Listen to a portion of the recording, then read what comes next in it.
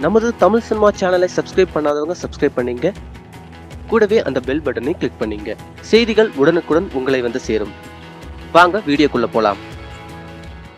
இந்தியாவின் கணவன் மருத்துவ செலவுக்காக பெற்ற குழந்தையை அவரது மனைவி விற்றுள்ள சம்பவம் தற்போது வெளிச்சத்துக்கு வந்துள்ளது. உத்தரப்பிரதேச மாநிலத்தை சேர்ந்தவர் சஞ்சு. இவருக்கு கடந்த டிசம்பர் மாதம் பதினாலாம் தேதி மூன்றாவதாக ஆண் குழந்தை பிறந்தது. அவருக்கு ஏற்கனவே இரண்டு ஆண் குழந்தைகள் உள்ளன. இந்நிலையில் இவர் தற்போது தனக்கு பிறந்த மூன்றாவது குழந்தையை குழந்தை இல்லாத தம்பதிகளுக்கு கடந்த டிசம்பர் மாதம் இருபத்தி ஒன்பதாம் தேதி ரூபாய் நாற்பத்தி ரெண்டாயிரத்துக்கு விற்றுள்ளார். இது குறித்து சஞ்சீவ் கூறுகையில் தனது கணவனின் சிகிச்சைக்காக குழந்தை விட்டதாக கூறியுள்ளார்.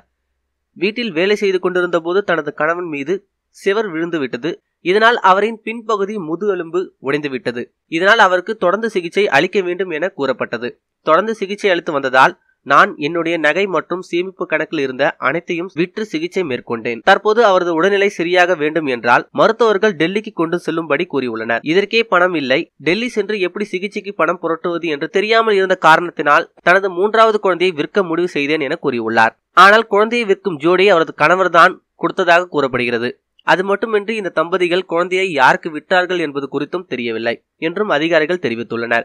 மேலும் இதுபோல செய்திகளுக்கு லைக் மற்றும் சப்ஸ்கிரைப் செய்யவும்.